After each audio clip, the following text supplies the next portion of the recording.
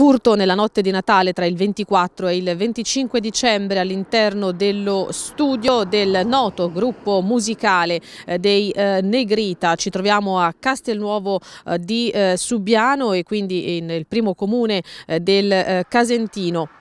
In tutto cinque le chitarre, alcune acustiche, altre elettriche ed un mixer rubati al noto gruppo musicale. La notizia è stata diffusa da uno dei componenti della band, Enrico Salvi, Drigo, per i fans, sul suo profilo Facebook e Instagram la sera di Natale. Un appello accorato da parte dell'artista. La scorsa notte, scrive, mi sono state rubate due chitarre. Sottrarre ad un musicista il suo strumento equivale a mutilare una persona di un arto. Sorvolo sul dolore che è cosa mia domani. Cercherò le mie foto e posterò insieme a qualche dettaglio dettaglio, lo farò su consiglio di amici, mi dicono che potrebbe aiutare. In realtà il gruppo ha poi deciso per il silenzio stampa, sul caso indagano i carabinieri. A poche centinaia di metri dallo studio De Negrita un altro colpo messo a segno ai danni di un ristorante, il secondo nel giro di una settimana. Niente, hanno fatto un furto da, da, da, proprio da, da ladri dei polli perché hanno preso delle bottiglie di vino, fra le altre cose hanno preso quelle che costavano meno.